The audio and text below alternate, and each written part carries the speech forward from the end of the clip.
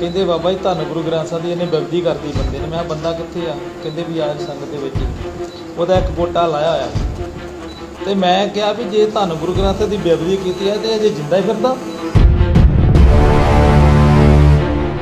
ਕਿ ਸਾਨੂੰ 6 ਸਾਲ ਹੋ ਗਏ ਬਿਵਦੀਆਂ ਜਰਦਿਆਂ ਨੂੰ, ਕਦੋਂ ਕੋ ਕਦੇ ਕਰ ਦਿੰਦਾ? 2 ਮਹੀਨੇ, ਕਦੀ 4 ਮਹੀਨੇ ਤੇ ਤਖਤ ਸਾਹਿਬ ਤੱਕ ਬਿਵਦੀਆਂ ਗਈਆਂ। ਤੇ ਆਹ ਆਪਣੀ ਤਲਵਾਰ ਦੇ ਨਾਲ ਤਿੰਨ ਟੱਪ ਉਹਦੇ ਮਾਰ ਕੇ ਉਹਦੀ ਲੱਤ ਜਿਹੜੀ ਵੱਡੀ ਗਈ। ਸਾਨੂੰ ਕੋਈ ਗਿਲਾ ਨਹੀਂ ਜੀ। ਤੁਹਾਨੂੰ ਗੁਰੂ ਗ੍ਰੰਥ ਸਾਹਿਬ ਦੀ ਗੱਲ ਹੀ ਉਹ ਉਹਨੂੰ ਮੁਸਲਮਾਨ ਵੀ ਮੰਨਦੇ ਆ, ਹਿੰਦੂ ਵੀ ਮੰਨਦੇ ਆ, ਬੋਧੀ ਵੀ ਮੰਨਦੇ ਸਾਰੇ ਮੰਨਦੇ ਆ।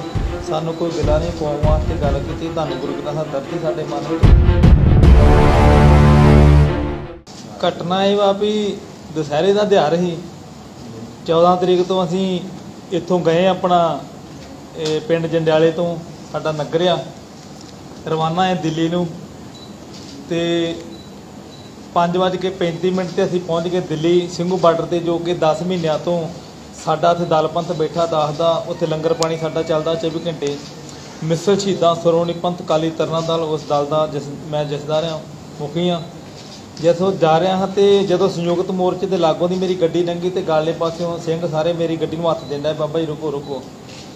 ਉਹ ਸੰਗਤ ਬੜੀ ਇਕੱਠੀ ਹੋਈ ਸੀ, ਮੈਂ ਕਿਹਾ ਵੀ ਪਤਾ ਨਹੀਂ ਸਾਡਾ ਸੰਯੁਕਤ ਮੋਰਚਾ ਵਾਲਾ ਨਾਲ ਕੋਈ ਝਗੜਾ ਝੁਗੜਾ ਆ ਗਿਆ ਵੀ ਤਾਂ ਕਰਕੇ ਇਕੱਠੇ ਹੋਏ ਆ। ਜਦੋਂ ਹਾਂ ਗੱਡੀ 'ਚ ਉਤਰ ਕੇ ਗਏ ਤੇ ਮੈਂ ਪੁੱਛਿਆ, ਮੈਂ ਵੀ ਕੀ ਗੱਲ ਹੋਈ ਆ? ਕਹਿੰਦੇ, ਬਾਬਾ ਜੀ, ਧੰਨ ਗੁਰੂ ਗ੍ਰੰਥ ਸਾਹਿਬ ਦੀ ਇਹਨੇ ਬੇਬਦੀ ਕਰਤੀ ਬੰਦੇ ਨੇ। ਮੈਂ ਕਿਹਾ, ਬੰਦਾ ਕਿੱਥੇ ਆ? ਕਹਿੰਦੇ ਵੀ ਆਜ ਸੰਗਤ ਦੇ ਵਿੱਚ ਹੀ। ਉਹਦਾ ਇੱਕ ਗੋਟਾ ਲਾਇਆ ਹੋਇਆ ਹੈ ਤੇ ਮੈਂ ਕਿਹਾ ਵੀ ਜੇ ਧੰਨ ਗੁਰੂ ਗ੍ਰੰਥ ਸਾਹਿਬ ਦੀ ਬੇਬਦੀ ਕੀਤੀ ਹੈ ਤੇ ਅਜੇ ਜਿੰਦਾ ਹੀ ਫਿਰਦਾ? ਕਿ ਸਾਨੂੰ 6 ਸਾਲ ਹੋ ਗਏ ਬਿਵਦੀਆਂ ਜਰਦਿਆਂ ਨੂੰ, ਕਦੋਂ ਕੋ ਕਦੇ ਕਰ ਦਿੰਦਾ 2 ਮਹੀਨੇ, ਕਦੀ 4 ਮਹੀਨੇ ਤੇ ਤਖਤ ਸਾਹਿਬ ਤੱਕ ਬਿਵਦੀਆਂ ਗਈਆਂ। ਤੇ ਆਹ ਆਪਣੀ ਤਲਵਾਰ ਦੇ ਨਾਲ ਤਿੰਨ ਟੱਪ ਉਹਦੇ ਮਾਰ ਕੇ ਉਹਦੀ ਲੱਤ ਜਿਹੜੀ ਵੱਡੀ ਗਈ।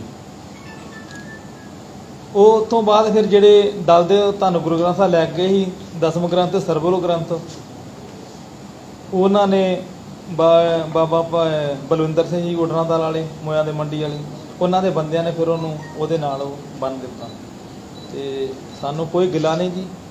ਧੰਨ ਗੁਰੂ ਗ੍ਰੰਥ ਸਾਹਿਬ ਦੀ ਗੱਲ ਹੀ, ਉਹ ਉਹਨੂੰ ਮੁਸਲਮਾਨ ਵੀ ਮੰਨਦੇ ਆ, ਹਿੰਦੂ ਵੀ ਮੰਨਦੇ ਆ, ਬੋਧੀ ਵੀ ਮੰਨਦੇ ਸਾਰੇ ਮੰਨਦੇ ਆ। ਸਾਨੂੰ ਕੋਈ ਗਿਲਾ ਨਹੀਂ, ਕੌਮ ਵਾਸਤੇ ਗੱਲ ਕੀਤੀ ਤੁਹਾਨੂੰ ਗੁਰੂ ਗ੍ਰੰਥ ਸਾਹਿਬ ਦਰਦੀ ਸਾਡੇ ਮਨ ਵਿੱਚ ਬਹੁਤ ਚਿਰਦਾ ਦਰਦੀ ਸਾਡੇ ਕੋਈ ਆ ਕੋਈ ਸਾਨੂੰ ਕੋ ਇਹ ਨਹੀਂ ਗਾ ਵੀ ਅਸੀਂ ਕੋਈ ਮੰਨਦੇ ਨਹੀਂ। ਮੈਂ ਸਵੇਰੇ 7 ਵਜੇ ਐਸਐਸਪੀ ਤੰਤਰ ਨੂੰ ਫੋਨ ਕਰਤਾ ਸੀ ਮੈਂ। ਮੈਂ ਆਖਿਆ ਵੀ ਮੇਰਾ ਮਨ ਦੀ ਤਮੰਨਾ ਵਾ ਵੀ ਸ੍ਰੀ ਕਾਲ ਤਖਤ ਸਾਹਿਬ ਤੇ ਗ੍ਰਿਫਤਾਰੀ ਮੈਂ ਉੱਥੇ ਵੀ ਦੇ ਸਕਦਾ ਹਾਂ। ਮੇਰੀ ਮਨ ਦੀ ਇੱਛਾ ਹੈ ਵੀ ਮੈਂ ਸ੍ਰੀ ਕਾਲ ਤਖਤ ਸਾਹਿਬ ਤੇ ਨਤਮਸਤਕ ਹੋ ਕੇ ਫਿਰ ਗ੍ਰਿਫਤਾਰੀ ਦੇਵਾਂ।